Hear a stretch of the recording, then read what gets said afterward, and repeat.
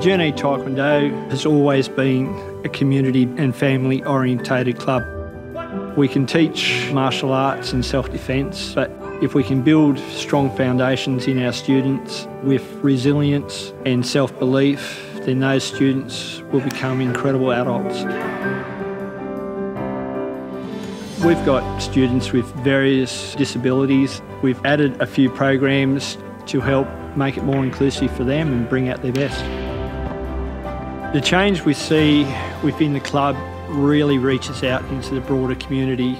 It's a change in our whole lifestyle. We've got young students that are, becoming young leaders. We're really proud to support those students along that journey. Good Sports has certainly been a, a big help with that.